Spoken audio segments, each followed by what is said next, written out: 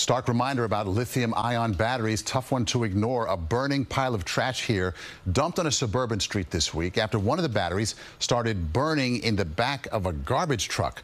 Tony Aiello with more on the do's and don'ts of battery disposal. This is uh, this is out of a power drill. Under controlled conditions at a Westchester fire training site. Currently at about 150 degrees. It doesn't take Pretty much, much heat anything. before a lithium ion battery pack sparks into flame. You're looking at temperatures in excess of 1200 degrees there. So the danger is when you use these things improperly or unsafely. If you're properly using it, there's not a problem with it. Proper usage means proper disposal. A small lithium ion battery put in the trash caused this fire Wednesday in Port Chester. Sanitation crews dumped the load to keep their truck from burning. When it comes to rechargeable batteries, All of them are required to be recycled in the state of New York and not thrown in the trash because of issues like we had in the garbage truck on Wednesday morning.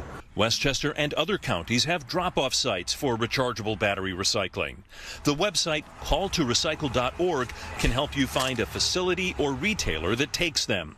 Another fire this week in Somers is a reminder to charge batteries safely. The charger was being used right in a young child's bedroom by the doorway, so um, a few more minutes and the child would have been trapped in their bedroom. These batteries increasingly power our lives and can threaten them if not used properly.